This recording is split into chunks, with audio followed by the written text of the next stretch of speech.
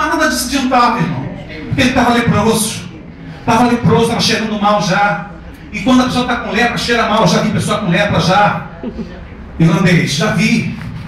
Já vi pessoa, a pessoa fica numa situação difícil, toda enfaixada. Eu tive uma irmã que morava na colônia ali, que ali tem, era um leprosário, todo mundo sabe disso. E ela até faleceu, já tem já alguns anos, irmã Fátima. E ela, quando ia na casa dela, quando ela fazia curativo, o cheiro ficava no ar.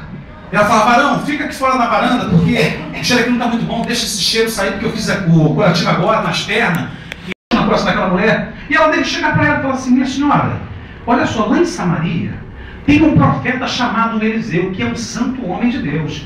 E quando esse homem abre a boca, a coisa acontece. Quando esse homem abre a boca, o milagre sucede. Quando esse homem abre a boca, não tem rei que não obedeça a ele. Até o rei se curva diante dele. Aleluia. Aí a, a dona da casa, você, mas é minha filha, me conta esse negócio. De... Eu imagino as conversas na cozinha, queridos. Ela lá arrumando a louça, lá os talheres, os utensílios da casa do Namã, o chefe do exército sírio. E ela lá, de repente, falando para essa mulher, empolgando o coração dela de fé, a ponto de chegar, meu senhor, vem cá, eu quero conversar contigo.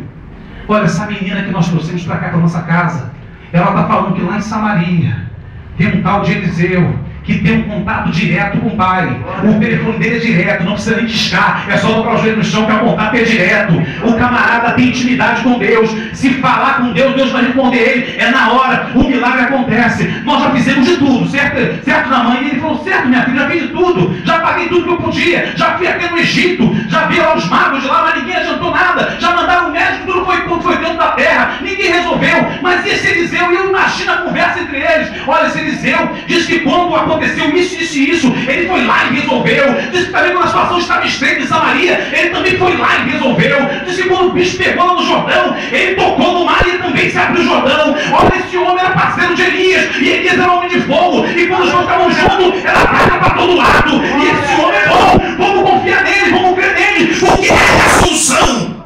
Irmão, o que, que aconteceu? Namã falou assim: olha, não tem tu, é tu mesmo. Junta tudo aí. Pode juntar prata, ouro, linho, púrpura, tudo que puder e vamos encontrar com esse homem. Mas antes eu tenho que falar com meu rei. Vou falar com ele porque eu tenho que dar satisfação a ele. Fala lá pro rei que o negócio não é com ele, é comigo, é para mandar deixar vir a mim. Irmão Eliseu, rapaz, eu imagino como é que era aquela situação. O rei tinha respeito por ele e chamava de meu pai. Sabe o que, que é isso? Meu pai, meu senhor. Sabe o que, que é um rei se curvar? Irmão, deixa eu te explicar uma coisa. Diante do homem da mulher de Deus, não tem rei, não tem príncipe, não tem nem esse nem aquele que não se curve. Tem que se curvar, tem que se curvar. E o que, que aconteceu? Aí chegou lá o recado lá, Eliseu, a situação é essa, essa, essa, ó. Então é contigo, né? É, então pode mandar vir que o negócio é comigo. Só que Deus ele conhece o coração de todo mundo, irmão. E Deus não quer ninguém de arrogância no seu caminho.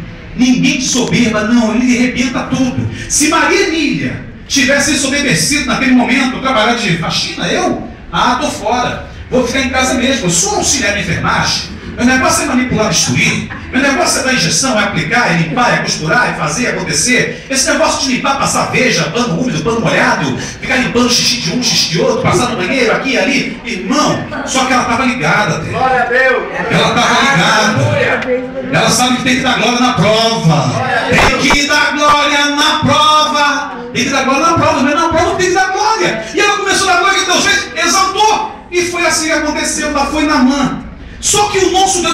Mas olha o manto sacerdotal que ele está usando, rapaz. Olha, olha o sacerdote está usando o manto daquele. Rapaz, olha o cavalo do camarada. Que pata é aquela? Olha lá, senhora, tem que repara tudo. O que não tem que fazer é reparar tudo. Só não repara a vida dele. É assim que acontece, irmão. E aí o que acontece? Namã chega na cidade. E alguém anuncia Eliseu. O Namã chegou aí.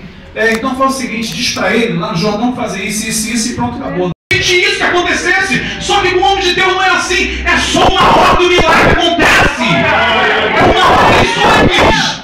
É só uma palavra que acontece. Ele não conseguiu entender isso. E ele voltou desanimado, irmão. Mas deixa eu te falar uma coisa agora que eu vou encerrar. Ele voltou desanimado, estava voltando para ir embora. Só que Deus sempre envia alguém na hora certa. E esse alguém não foi a menina. Esse alguém não foi nem Eliseu. Esse alguém foi o companheiro que estava do lado dele, que deu a palavra de vitória para ele. Porque presta atenção, no momento em que eles voltavam para Síria, irmão, de repente o Senhor tu já gastou tudo que tinha que gastar. Tu vem aqui de longe para receber do profeta, de repente, uma situação, de repente, inusitada, uma outra situação, um tratamento diferente. Quem sabe um tratamento VIP, de tu sentar numa cobertura, ficar sentado, deitado numa maca, de última geração com ar-condicionado central. Nada disso aconteceu. Ele só deu uma ordem, e uma ordem simples de cumprir. Então faça isso, meu Senhor. Eu imagino na mão olhando para aquele rapaz e falando: Boa esta palavra. Você fortaleceu a minha fé. Ou em outras palavras, você é o tipo de amigo que eu quero do meu lado, que dá palavra de vitória. Eu não quero mais palavras de derrota. Tá aí. A partir de agora eu quero andar contigo. Porque tu é homem de Deus. E não é assim que acontece. Aleluia. A Bíblia diz que ele foi lá no rio e mergulhou. Que já não dava mais para ver na mão. E a sujeira, era tanta sujeira. De repente ele sobe, com a cara com aquelas marcas ainda. E aí, meu filho? E aí, meu senhor? Está muito cedo para tu perguntar para mim se está tudo bem. Dá outro mergulho, fica ligado. Pô, baixa, filha. Dá outro mergulho, de intimidade já, né? Ficou com intimidade com, o chefe do exército, mas é assim. Quando você tem um bom relacionamento, tu cria uma intimidade, irmão. Por isso que o crente tem que viver com um bom relacionamento. E aí deu o segundo mergulho, Clide. Aí olhou, daqui a pouco brotou do lado de novo. Aí já ligado, nem perguntou nada. Já sei, não precisa nem falar. Tô indo de novo, hein? E foi. Daqui a pouco, de repente, o jovem que deu força para Naamã, no terceiro não viu nada. Ele ainda continuou com a marca na cara. Mas não podia olhar para ele, não do na força dele. Meu senhor vai lá, mais quatro. Já foi três. Toma igual as parcelas do terreno. É história, terra. A pessoa quê? Aí vai lá de novo. Agora vai. Tum, subiu de novo. É, meu senhor, tá, o negócio está acontecendo. Vai com fé que é a hora. Vai para quinta.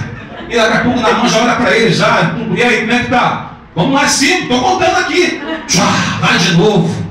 Meu Deus, tomara que aconteça alguma coisa agora. Quando levantou de novo, a cara suja de novo já virou a cara. É isso aí, meu senhor, vamos lá, sexta. Mais uma. Meu Deus, irmão. Eu imagino que loucura. Mas Jeová vai de cima só olhando. É agora na sétima que eu vou fazer. E quando ele mergulhava, eu imagino ele batendo na água.